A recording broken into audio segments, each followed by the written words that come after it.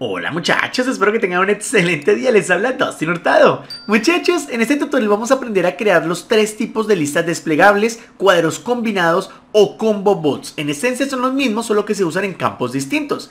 Ahora, al finalizar el video les voy a mostrar cómo pueden adquirir tanto el Windows como el Office completamente legal, hasta con el 66% de descuento. Pero al final frescos. Por ahora vamos con el tema y vamos al grano. Digamos que yo quiero una lista desplegable que me muestre todos los nombres de los clientes. ¿Cómo lo hago? Pues simplemente voy a la pestaña Datos y busco el botoncito que diga Validación de datos. Si no dice Validación de datos, muy seguramente va a tener solo el icono. No se preocupe, dele clic al icono y aquí vamos a hacer lo siguiente. En Permitir vamos a elegir donde dice Listas. Bueno, lista.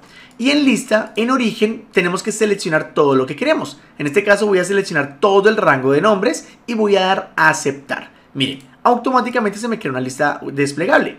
¿Qué curiosidades tiene esta lista? Primero, si damos clic por otro lado, no se va a mostrar. Por más que intentemos eliminar, estoy oprimiendo suprimir o el de borrar, no importa. Cuando le vuelva a dar clic, sigue apareciendo. Y lo curioso de todo es que cuando damos un clic en algún dato, él me lo trae de forma literal. O sea, no me hace una referencia, sino me lo trae literalmente. Entonces, ¿qué podemos hacer con esto? Digamos que yo quiero traer aquí automáticamente el correo electrónico. Pues simplemente uso, por ejemplo, una función llamada buscar B.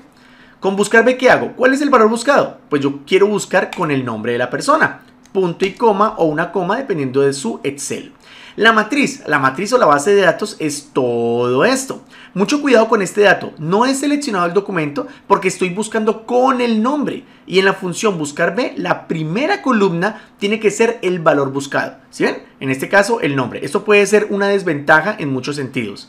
Ahora, punto y coma. Indicador de columnas. ¿Qué dato quiero traer? El correo está en la primera, segunda, tercera, en la cuarta columna. Oprimo 4 punto y coma, rango es cero que es un valor exacto y cierro paréntesis. Doy enter y ahí está. Vamos a agrandarlo, permítame, así. Miren, si yo elijo por ejemplo acá otro nombre, automáticamente me trae su correo electrónico. Muy interesante. Ahora, vamos a hacer otro datico, otra lista eh, desplegable, pero con esta lista tenemos que ir a programador. Si no tienen su pestaña programador o desarrollador, pueden dar clic derecho, personalizar cinta opciones o también desde archivo, opciones, personalizar sin opciones y aquí simplemente activamos la pestaña programador. No tienen que hacer nada más. Dan aceptar y ya está.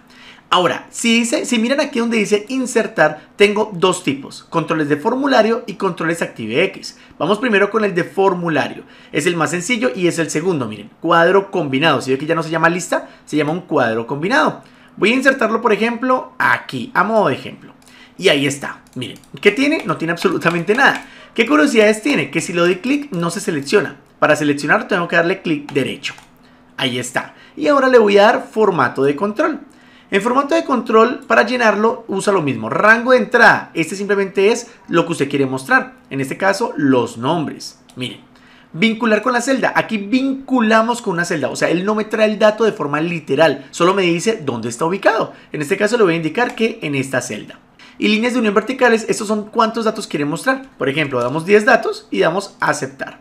Si le damos un clic, él me va a mostrar 10 datos. Si usted coloca 20, pues me va a mostrar 20 datos y así sucesivamente. Miren, cuando doy un clic, él me muestra el nombre, pero me da la referencia de dónde está el nombre. Está en la fila número 4. 1, 2, 3, 4. Juan Sánchez. Ahí está.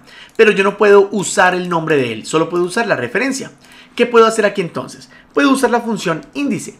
Con índice, ¿qué hace índice? Índice simplemente me trae un dato con una coordenada. Por ejemplo, si quiero traer esta dirección, está en la columna 1, 2, 3, en la columna 4 y en la fila 13.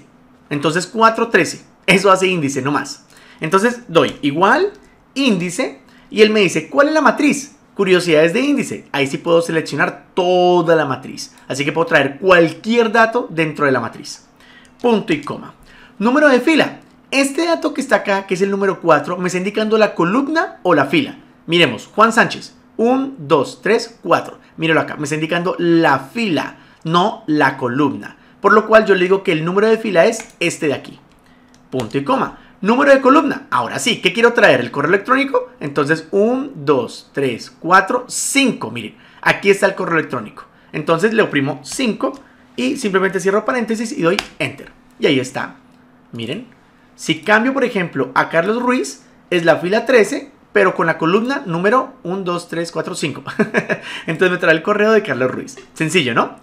Y por último vamos a hacer insertar controles de ActiveX. Estos son mucho más profesionales, ya que usan macros. Es el mismo que está acá, el segundito. Lo voy a dibujar.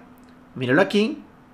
Y muchos se preguntarán, bueno, ¿esto qué diferencia tiene? Porque es que yo le doy un clic, pero pues ¿Qué hago con él? Bueno, es porque está el modo diseño activo. Si yo desactivo el modo diseño, usted no va a poder seleccionarlo ni eliminarlo nunca, jamás. Por más que seleccione, mueva, haga lo que quiera, no va a poder hacerlo. Por lo cual, ¿qué podemos hacer entonces con este control? Pues es muy sencillo. Activamos el modo diseño primero que todo para poderlo seleccionar y le indicamos propiedades.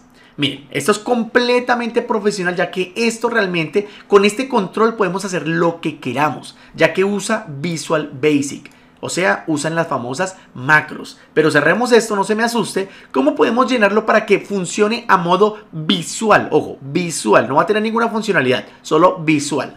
Primero, el rango que yo quiero le voy a dar un nombre. Por ejemplo, todo esto le voy a llamar clientes. Así, clientes con la S, mucho cuidado. Ahora, le doy un clic al objeto, que en este cuadro es un, es un combo bots, y voy en la parte derecha y busco el ítem que diga list field range, o bueno, no sé cómo se lea, pero es este de aquí. Y le indico que simplemente el rango va a ser clientes. Doy enter y si quitamos el modo diseño y damos un clic, ya me van a aparecer los clientes. Esta es una manera muy, digamos que arcaica de llenar este, este combo bots, ya que la manera correcta sería hacerlo con código fuente. Por ejemplo, quitemos el modo diseño, quitemos la base de datos de clientes. ¿Sí? Si miramos, ya no debe tener nada. Exacto. Ahora sí, yo puedo ir a Visual Basic, puedo darle doble clic a la hoja y si yo miro, tengo mi Combo Bots y mi hoja de trabajo. Yo le puedo indicar a la hoja de trabajo que una vez se active, miren, una vez la hoja de trabajo se active, haga que mi Combo Bots, punto, se añada un ítem. ¿Sí? ¿Qué ítem? Por ejemplo, Dustin Hurtado. y cierro paréntesis. Miren, cuando se active la hoja, se me añade un ítem llamado Dustin Hurtado. Esto no sirve, vamos a borrarlo y ya está. Aquí estamos haciendo una pequeña macro, usando macros, ¿no?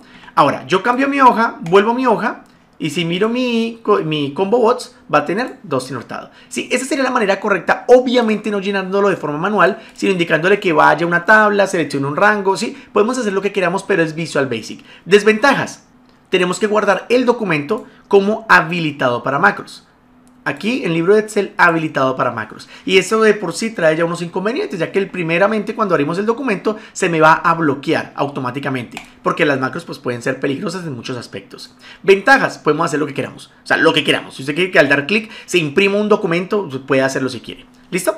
Pero bueno, en fin, las dos más usadas son esas que están acá arriba y la más usada de todas es esta lista que está acá desplegable, que es la más sencilla de crear. Pero con esto básicamente hemos terminado cómo crear o insertar listas desplegables, solo que se llaman de tres formas distintas. Listas desplegables, cuadro combinado o simplemente un combo bots, que en inglés sería el mismo cuadro combinado.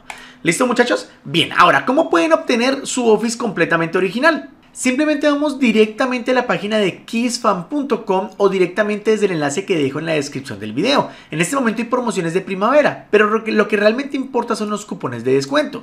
DH50 para sistemas operativos, o sea el 50% de descuento, o DH66 para la ofimática, o sea 66% de descuento. Tengan en cuenta que yo recomiendo mucho las versiones de año porque son vitalicias. Ellas mueren con el computador, así que dura todo lo que le dura un computador. Si le dura toda la toda la universidad le dura. Ahora, ¿cómo es el proceso de compra? Mire, simplemente le dan en comprar, verifican que la versión que están comprando es compatible con su sistema operativo. No funciona para Mac. Si quieren para Mac, deben colocar Office Mac. Y ahí les aparecen las versiones compatibles para Mac. Ahora, ya sabiendo esto, añaden al carrito, le dan ver carrito y en la parte derecha es donde podemos aplicar el cupón DH66 porque esto es ofimática. Y ya está muchachos, aquí está el precio final. Simplemente procedan con el pago y van a pagar a través de una pasarela de pagos. No añadan tarjetas de crédito nunca a un sitio web directamente, sea para CaseFan o sea para cualquier sitio web. Es un truco financiero de Dustin Hurtado.